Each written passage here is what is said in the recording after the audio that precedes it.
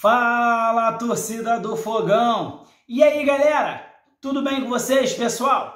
Vamos lá, vamos pro vídeo da segunda-feira de manhã, né? Depois daquele jogo ontem meio que frustrante, o torcedor ficou chateado, né? Mas eu acho que aquela raiva passou. Vamos começar a pensar com mais, vamos raciocinar. O Botafogo ainda precisa de algumas peças para esse time encaixar. Mesmo assim, é um trabalho que está iniciando.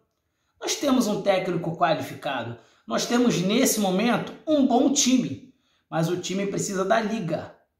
Só que a segunda janela de transferências, ela sim, essa janela que vai mostrar aonde o Botafogo quer chegar esse ano. Beleza?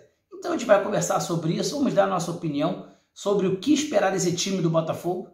Agora aqui no canal do Anderson Mota. Meus amigos, muito obrigado pela moral, muito obrigado pelo carinho. Não esqueçam de deixar o seu like, colabore com o canal, me dê essa moral e ó, se inscreva no canal, estou tentando chegar a 20 mil inscritos nesse mês de maio que começou. Me ajudem, me dê essa moral aí. Não esqueçam de deixar o like que é muito importante. Vamos lá, galera. É, ontem o Botafogo empata com um time tecnicamente muito mais fraco do que a gente, um time que tem outros objetivos do campeonato, mas um time que fez um jogo duro, né?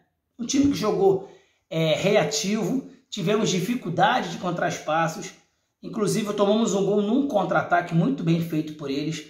Botafogo justamente consegue empatar, mas não consegue sair com placar é, positivo. Luiz Castro fala que está tendo muita ansiedade nesse elenco por ganhar um jogo em casa com a sua torcida, com festa.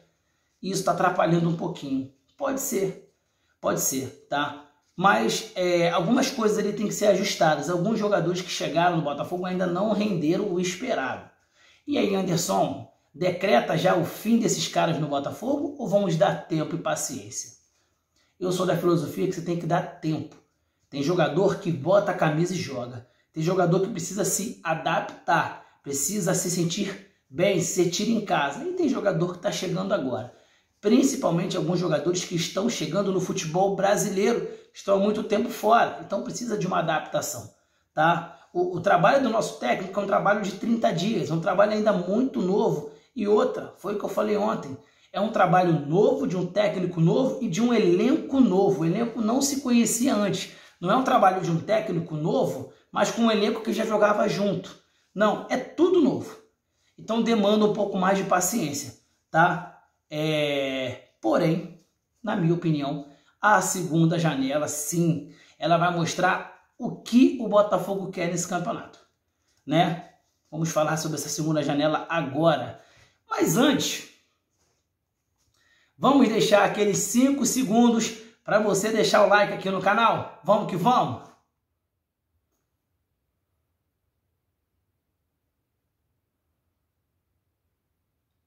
Valeu, meus amigos, muito obrigado pela moral, muito obrigado pelo carinho. Se inscrevam no canal, deixe o seu like, compartilhe o canal do Nelson Mota para mais botafoguenses. Vamos lá, galera. Objetivo do Botafogo na segunda janela. Objetivo é trazer mais um goleiro, trazer um lateral esquerdo, tá? Trazer um camisa 10, trazer um atacante. Eu acho que o Botafogo pode incluir aqui ainda mais um zagueiro e mais um ponta direita. Mais uns seis jogadores para chegar. Se o Botafogo conseguir trazer quatro jogadores de muita qualidade, juntamente com esse elenco, que na segunda janela vai estar encorpado e vai estar entrosado, eu acho que aí sim o Botafogo mostra que vem forte ainda para esta temporada, porque não uma Copa do Brasil. Tá? É, claramente, nós, senti, nós sentimos falta de um camisa 10, de um cara que organize o jogo. O jogo tá duro, o jogo tá nervoso, tem aquele cara diferenciado no meio-campo que sabe fazer o jogo fluir. O Botafogo não tem esse jogador. O Botafogo tem bons jogadores no meio-campo, mas não esse cara, o cara. Beleza? Aquele cara que quando você fala do Botafogo, você pensa logo nele. Não temos. Tá? Como outros clubes têm. O Flamengo tem a Rascaeta. Poxa, o Atlético Mineiro tem até o Hulk né? O Palmeiras tem o Veiga e etc. O Botafogo não tem. Mesma coisa camisa 9. Erisson ainda é muito novo, vai oscilar bons momentos e maus momentos. Matheus Nascimento, mais novo ainda, também vai oscilar muito. Então o Botafogo não tem aquele centroavante que fala: o jogo está difícil, dá a bola em mim que eu resolvo. Ainda não tem. Então acho que primordial o Botafogo trazer esse 10 e esse 9. O 9 já temos o nome que é o Zahavi. Se acontecer o Zahavi não vier, não vir, Botafogo vai atrás de outro, de outra, de, de qualidade do mesmo nível. Jogador bom e jogador rodado. Mas o camisa 10 é essencial. O trabalho do Luiz Castro é um trabalho de excelência. Temos que ter paciência que vai dar tudo certo. Beleza? Agora é esperar esse time entrosar. E torcida do Botafogo, tá ansiosa pela primeira vitória em casa? Eu também tô. Mas vamos continuar apoiando. Meus amigos, e aí, o que vocês acham?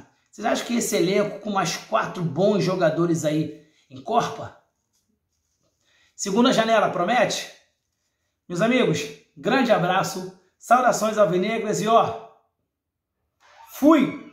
Aquele abraço, galera!